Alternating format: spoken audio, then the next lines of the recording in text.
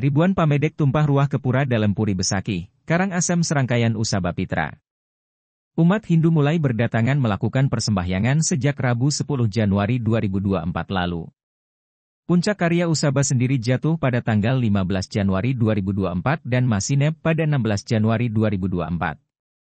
Pantauan di lokasi, umat datang bersama anggota keluarga masing-masing dan memadati kawasan Jeroan Pura dalam Puri hingga di areal Jabapura atau Tegal Penangsaran.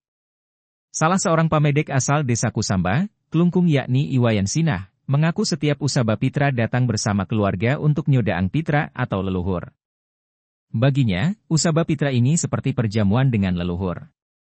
Dia meyakini, saat Usaba Pitra para leluhur dari berbagai tingkatan dihadirkan, sehingga para sentana bisa mendoakan dan memohon perlindungan dari leluhur masing-masing. Berbagai sarana dihaturkan di atas tikar yang digelar. Mulai dari Banten Pengambean, Pejati hingga Saji dan Sodan.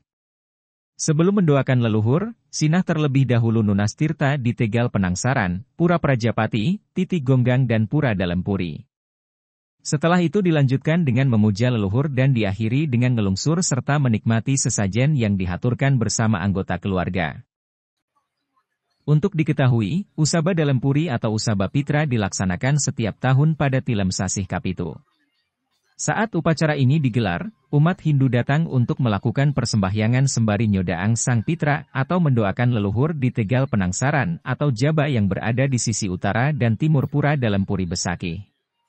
Selain mendoakan arwah yang sudah diaben atau sudah menjadi leluhur, umat juga mendoakan arwah sanak saudara yang belum diaben. Suryaningsih melaporkan untuk Denpos Channel.